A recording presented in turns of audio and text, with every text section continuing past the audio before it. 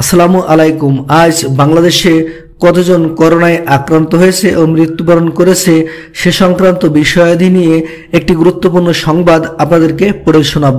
তাই like, share ও subscribe করে সাথেই থাকবেন, এমনটাই আবেদন রইল। আজ বাংলাদেশে চব্বিশ ঘন্টায় করোনায় আক্রান্ত হয়ে আরও চুয়াত্তর জনের মৃত্যু হয়েছে। এ নিয়ে মোট মৃত্যু হয়েছে নয় হাজার পাঁচশত একুশ জনের। নতুন করে আজ শনাক্ত হয়েছে ছয় হাজার আটশত চুয়ান্ন জন। সব মিলিয়ে আক্রান্তের সংখ্যা দাঁড়িয়েছে ছয় লাখ ছেষট্টি হাজার একশত বত্রিশ জনে।